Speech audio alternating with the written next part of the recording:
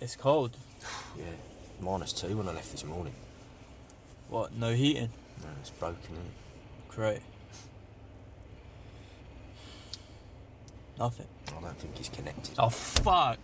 Look, you've got to separate emotion from facts, right? There's no point in us going after the wrong person. It's just going to give the right person more time to cover their tracks. I'm telling you, he did it. He was the last person she spoke to before she disappeared. When she was all over the news, he didn't even bother going to the police. He fucking killed her. He did it. I'm going to need proof, proof it's going to stand up in court to get him put away for what he's done, and that's going to take time. You just show me that he did it. Just the truth. That's all I need. It doesn't need to stand up in court. Just the truth. For the sake of my career, pretend I never heard that. Pretend what you want. Just do your fucking job, please.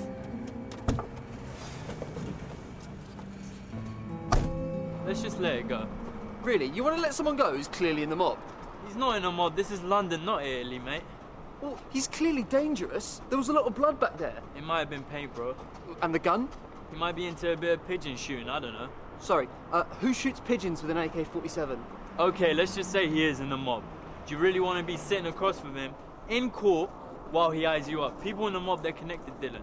They don't like snitches. Well, we could go into witness protection, start a new life in Spain or somewhere.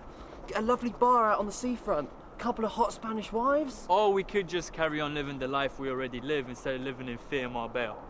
Right. What if the person he killed was someone you knew, eh? What if it was your new Spanish wife, Penelope? Whatever. I'm being serious. Shane! Just read it. I've got a bit of a sore throat.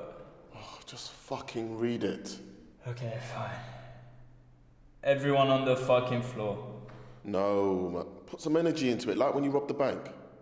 I didn't rob no bank. Look, just do as I say, yeah? Put some effort in. I don't know, hold your breath. Make your heart race. What, you're a film director now? Was that the dream? Film director first, police officer last. Just say the line. Everyone on the fucking floor. No, now you're just saying it weird, like you're trying to throw me off. I'm not, that's how I talk. Do you have a problem with how I talk now? Look, I'm just trying to do my job, alright? No, you're trying to take Steve McQueen's job. Listen, yeah? Cut the bullshit. Just say your fucking line and I'll take you to the cell.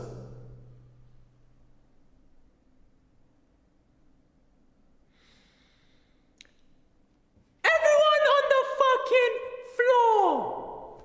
Fuck it.